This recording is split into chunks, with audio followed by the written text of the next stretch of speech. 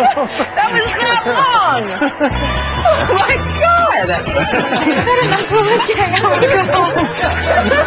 Now for your entertainment, the oldest trick in the book. I'm checking out. It's not working. I don't know what's wrong with it. That's our Van de Graaff generator? No. Why not work? Why not work? We haven't figured it out yet.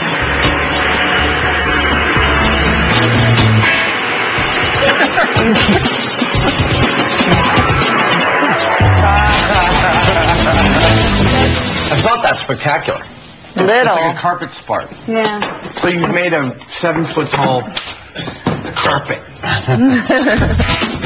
By adjusting the position of the brushes, they should be able to increase the charge being generated. Wait, don't play it until I'm holding on to it. Standing on a wooden box, Kari is insulated from the ground. The charge is building up on her body, repeating that hair-raising old school science lab trick. Feel And your hair is standing up a little Going better. up. Yeah, here it goes. We're at 50,000 volts. Unexpectedly, it turns out that's a charge big enough to suck all the power out of Jamie's legs.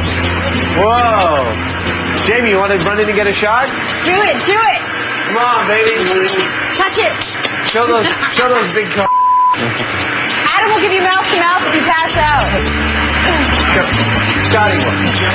Well, the machine's working. We can tell it's working. It's making all this horrible popping noise. What are you doing? Are you slave charming over there? You're just gonna make it mad. You've been doing some sort of Grateful Dead dancing by it for some reason. Come on, let's do it.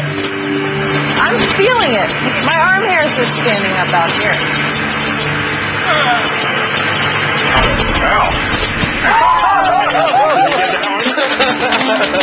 Now it's time for Adam to step up. Oh, wow.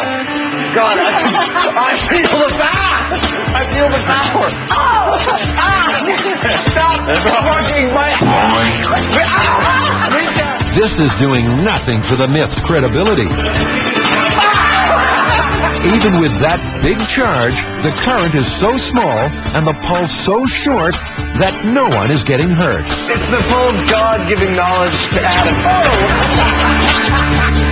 Oh! well, Jamie, according to our instruments, I've got a couple of hundred thousand volts heading through my body, and even with this amount, it still, it hurts, but it's not killing us, and it doesn't sound like a thunderclap. It's true. Can I go away now? You can go away now.